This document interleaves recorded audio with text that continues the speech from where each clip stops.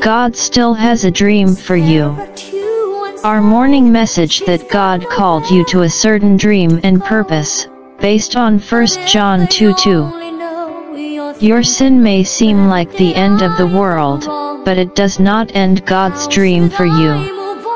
Why? In spite of what Because Jesus already paid for all your sins.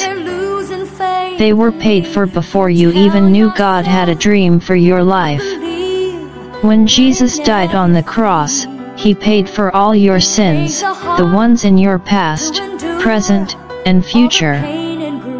If you don't believe that when Jesus died on the cross He paid for all your sins, then you're saying that Jesus' sacrifice wasn't enough. Through the cross, everything you've ever done wrong was wiped out, forgiven, cleansed, purified, eliminated, and forgotten. Understanding that lets you live in the freedom to pursue God's dream for your life. Because God's goodness isn't based on your performance. God's goodness to you is based not on whether you deserve it, but on the fact that He is a good God. And it's all you need to accept the good things God wants to do in your life. Because God's calling and gifts are given unconditionally. He has given you gifts to fulfill that calling, and they are given unconditionally.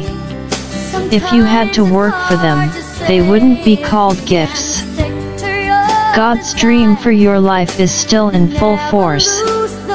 It doesn't matter if you've been working on it for years, or you're getting started on it a little later in life. It's never too late to get God's dream. God's grace is based not on your goodness, but on His goodness. God promised that for those who believe in Jesus, there is no condemnation. He sent Jesus to save you from your sin.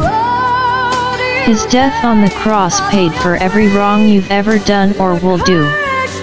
And by sacrificing himself for your sins, he gave you his righteousness.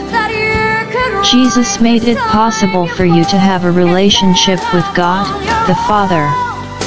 And the good news doesn't stop there.